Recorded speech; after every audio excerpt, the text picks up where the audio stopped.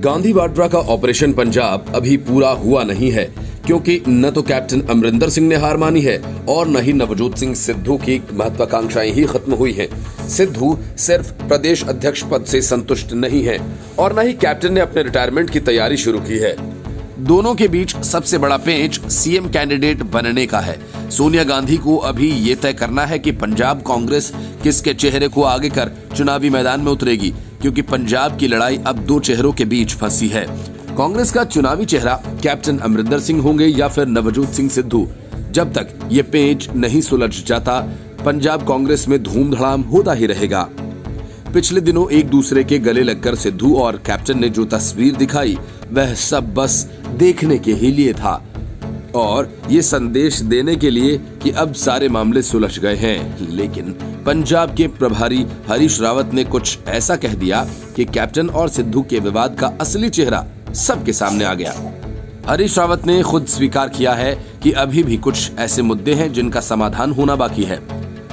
रावत उस तीन सदस्य टीम का नेतृत्व भी कर रहे हैं, जिन्हें सोनिया गांधी ने कैप्टन सिद्धू विवाद को सुलझाने की ज़िम्मेदारी दी है। रावत ने आगे कहा कि हम ये नहीं कहते कि सारे विवाद सुलझ गए हैं।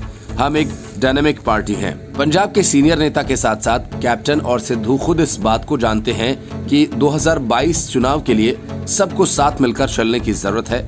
इस चुनाव को जीतने के लिए इतिहास ने हमें बड़ी ज़िम्मेदारी दी है। रावत विवाद को कम करने के लिए कैप्टन सिद्धू की तारीफ़ भी करते हैं।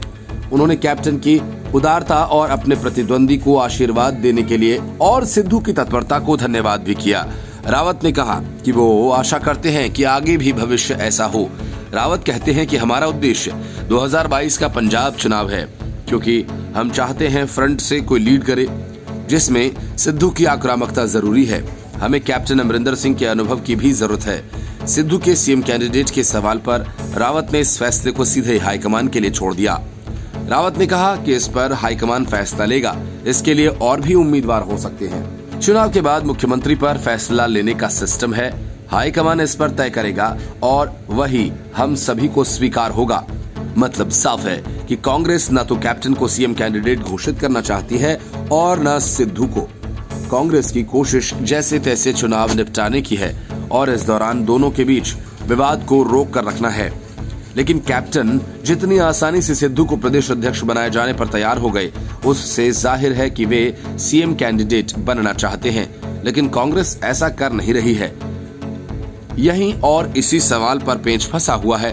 पंजाब कांग्रेस में कैप्टन सिद्धू विवाद पिछले चुनाव के बाद से ही शुरू हो गया था। जब प्रदेश में कांग्रेस की सरकार बनने के बाद से ही सिद्धू लगभग अलग थलग दिख रहे थे। मंत्री बने, लेकिन मनपसंद विभाग नहीं मिलने की वजह से दो साल बाद इस्तीफा दे दिया। इसके बाद से कई ऐसे मौके आए, जब नवजोत सिंह सिद्धू ने सार्वजनिक मंच से कैप्टन सरकार की आलोचना की। इन आलोचनाओं और पार्टी में बड़ी भूमिका की मांग ने कैप्टन सिद्धू विवाद को और बढ़ा दिया। आला कमान से कई मुलाकातों के बाद जब सिद्धू को पंजाब कांग्रेस की कमान मिली तो कैप्टन की ओर से आलोचनाओं के लिए सार्वजनिक रूप से माफ़ी की मांग की गई। हालाँकि अभी तक सिद्धू ने माफ़ी तो नहीं मांगी है लेकिन ताजपोशी के दिन कैप्टन सिद्धू की मुस्कुराती तस्वीर अब पंजाब कांग्रेस में शांति का दावा कर रही है।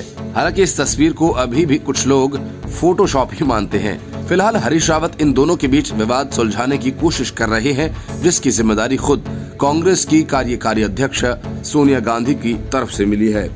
Report, news of India.